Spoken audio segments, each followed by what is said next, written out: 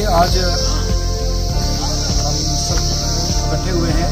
हमारे इकट्ठे होने का मकसद ये है कि आज से लगभग एक माह पहले की बात है कि सरफराज साहब जो हमारे साथ बैठे हुए हैं, इन्होंने पहाड़ी खबरनामा नाम के एक पेज पर एक अपनी स्टोरी अपलोड की थी, एक वीडियो बनाकर, जिसमें पीर नसार साहब की शान में कुछ कलमात कहे थे, जो पूरे मुस्लिम उम्मत को बिलखसूस अल सुन्नत जमात को पीर तरीक़त के मानने वाले लोगों को ठेस पहुँची थी। इस सिलसिले में एफआईआर हुआ था। और एफआईआर के बाद इन्वेस्टिगेशन जारी रही। तो आज हम जो बैटरी ऑफ़ लायर्स जो पीर साहब की तरफ़ से जो कोर्ट में अपील होने जा रहे थे, इनकी बेल को रिजेक्ट करवाने के सिलसिले में। क्योंकि हम पीर साहब की तरफ़ से वकील मुकर किए गए थे कि इनकी बेल ना हो। ऐसे बंदे को जो है वो गिरफ्तारी इसकी भी होनी चाहिए। लेकिन इन द मीन टाइम इन्होंने एक पहल की है।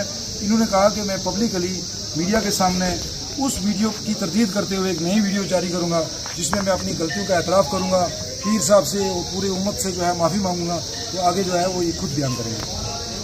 मेरा नाम सरफराज अहमद है और मैंने 26 तारीख को 26 अक्टूबर को एक इंटरव्यू किया था पीर साहब के साथ।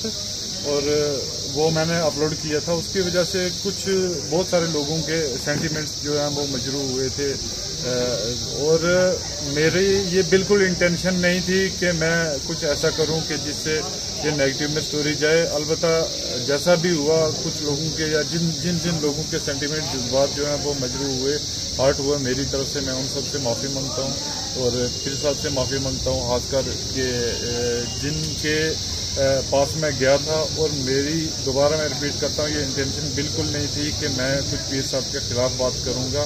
लेकिन अलबत् फिर भी जिन जिन लोगों को ऐसा लगा कि मैंने ये गलत किया है और मुझे भी जहाँ तक लगा कि मैंने ये गलत किया है तो उस चीज़ के लिए मैं पब्लिकली सबसे माफ़ी माँगता हूँ और मैं उम्मीद करता हूँ कि आप लोग और ख़ासकर पीर साहब मुझे माफ़ी कर देंगे।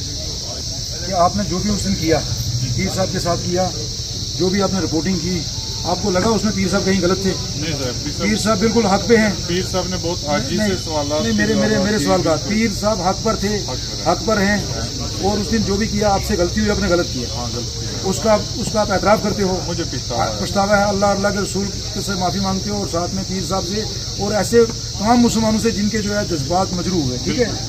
और मेरी भी सब लोगों से अपील है पीर साहब से भी गुजारिश है कि इनको माफ़ कर दिया जाए और ये हमारा भाई है चूँकि अल्लाह की सामने अल्लाह के सामने जब बंदा माफ़ी माँगता है तो उसको अल्लाह भी माफ़ कर देता है तो लिहाजा सब माफ़ करके कोई भी तनाज़ा तकाजा इससे ना करें। आइंदा जो है भाईचारा कायम रखा जाए और ख़ास करके लोगों से मुरीदीन से मेरी अपील है कि इसके साथ कोई भी इजाती ना की जाए